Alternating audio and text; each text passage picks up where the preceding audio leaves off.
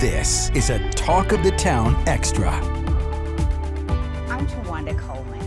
Focus groups are often used to develop or improve products or services.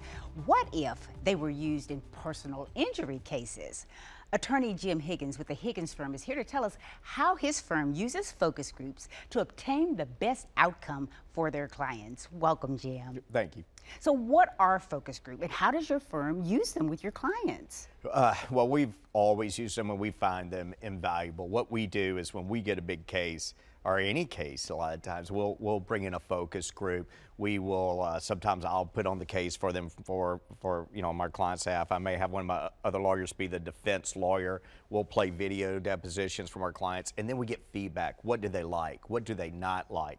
Do they do they want to hear something different from our client? Where we trustworthy? I mean and I'm telling you I've never done one where I don't learn either a strength or a weakness in my case that I didn't know about. And if I learn those weaknesses, I think they're even more valuable because I can hit them head on. Uh -huh. And then we can determine values. It's, it's just such a great tool. It sounds like it. So, how has technology made this tool accessible to your clients? Game changer. It is. Once we all started doing Zoom, so previously we would uh, get a whole conference room and drive people in. It was crazy expensive. Now I get 12 people on their computer at home. We present the case to them. I can do two or three cases a, a month.